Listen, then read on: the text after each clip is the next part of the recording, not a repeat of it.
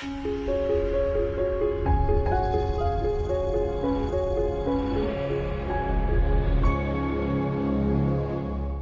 今天是美西时间六月十三日，欢迎收看《万维读报》，我是 Cherry。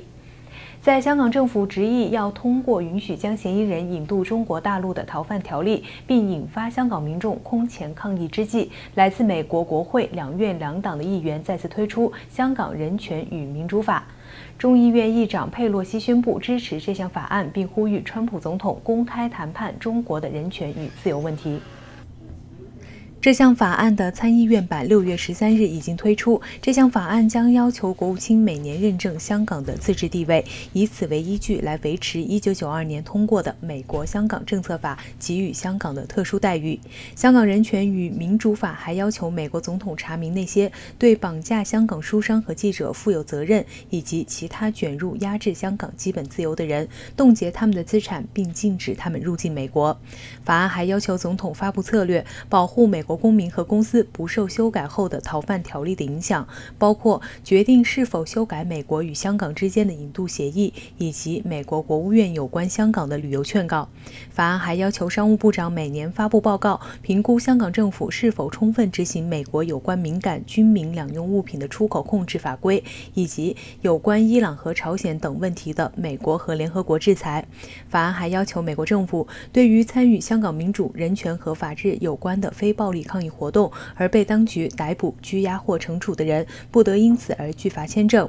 美国国会参议员泰德·克鲁兹和爱德华·马基推出的《美国香港政策重估法》要求修订美国在一九九二年通过的《美国香港政策法》修订提案，说这份报告需要针对北京官方使用正式或非正式手段引渡、强迫转移包括美国公民在内的外国公司到中国大陆，躲避美国出口限制、进口商品关税，还有美国及。国际制裁的情况作出评估。同时，这个提案还要求国务院提供参与违反美国法律的官员名单。对于美国对香港事务的关切，中国外交部发言人耿爽十一日回应说：“中国对美国就香港事务不断说三道四表示强烈不满和坚决反对，要求美方停止以任何形式干预香港事务和中国内政。”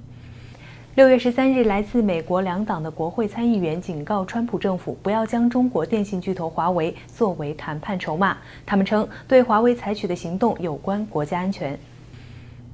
川普近日表示，他可能愿意放松对华为的制裁，以换取中国在贸易谈判上做出让步。川普在最近的言论中说，华为十分的危险，从军事角度和安全角度看待他们所做的事情，它非常的危险。但川普也敞开了华为作为贸易谈判问题的大门。他说，如果我们达成协议，我可以想象华为可能被纳入某种形式或部分贸易协议中。专家表示，考虑到华为对全球市场巨大的影响力，北京必须做出巨大让。让步川普才有可能克服国内阻力，减缓对华为的行为。美国战略与国际问题研究中心科技政策部门主管莱维斯告诉美国之音说：“如果他同意解除对华为的禁令，政府里的许多人会不高兴。而要让他这么做，中国方面必须做出非常大的让步。我认为他们做不到这么大的让步。”维吉尼亚州国会民主党参议员华纳和佛罗里达州国会共和党参议员卢比奥则表示，需要将贸易谈判与华为构成的国家威胁区分开。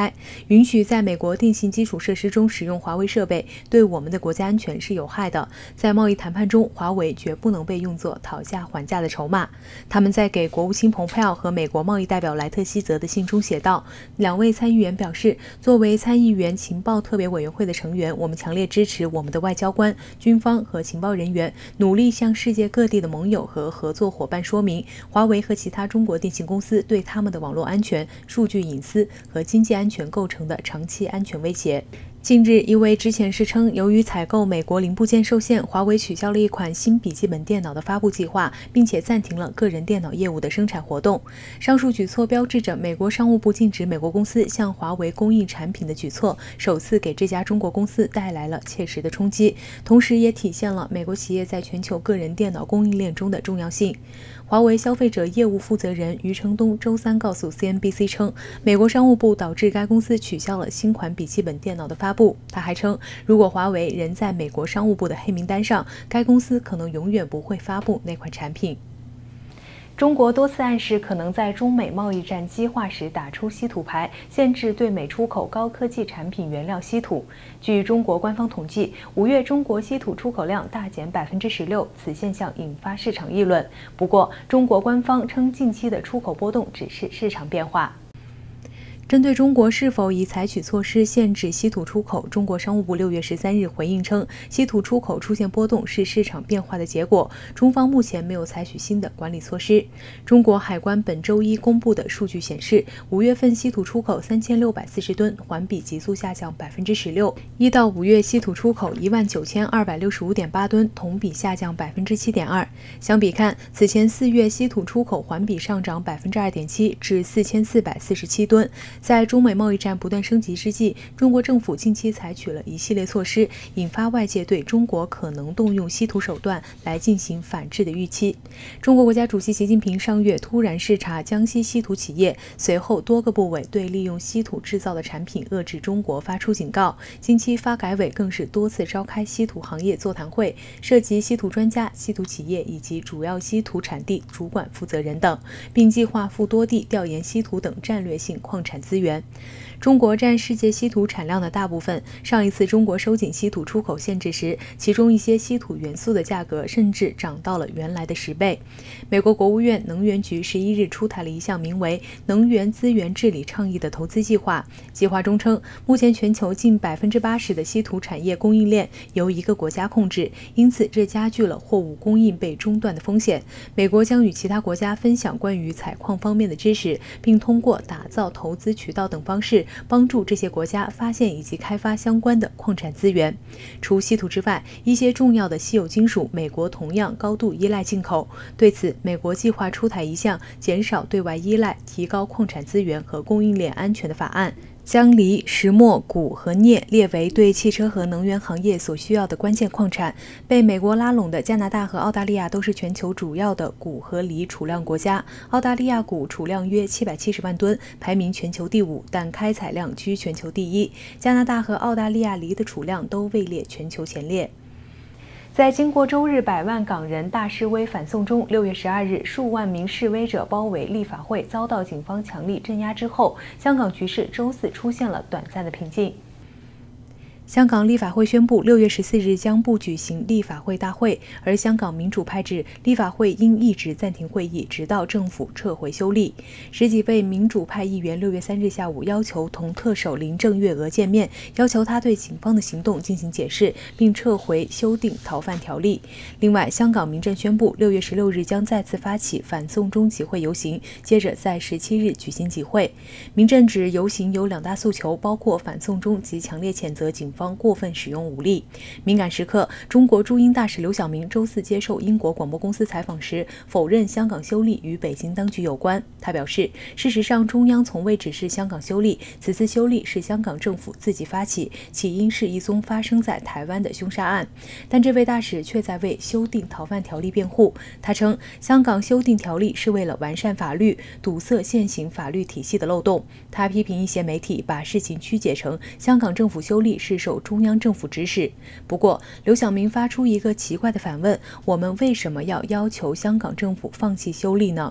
对刘晓明大使推说北京与香港修订逃犯条例无关，有分析指，修订条例作为终结香港高度自治极其重要的一步棋，若非习近平首可，下面岂敢自专？学者指，这是代表中央与临政切割。我猜想是这样。如果事态恶化，真弄出个香港六四事件，习近平兜不住。还有人认为，刘大使敏感时期的表态，意在将送中条例的责任推给临政。这是因为习近平正面临着中美贸易战的巨大压力。G 二十峰会是否与川普见面，其还在犹疑。北京可能不愿在此背景下看到香港风暴继续扩大或者恶化，引发国际社会更大反弹，故此以牺牲临政来平息港人怒火。另外，香港警方周三动用橡胶弹、布袋弹、催泪弹镇压示威民众，引发强烈谴责。香港特首林郑月娥出来表态，直指香港发生了暴动。但是，香港政务司司长张建宗周四受访时却称，港府高层没有参与将金钟冲突定性为暴动及开枪发射橡胶子弹的决定。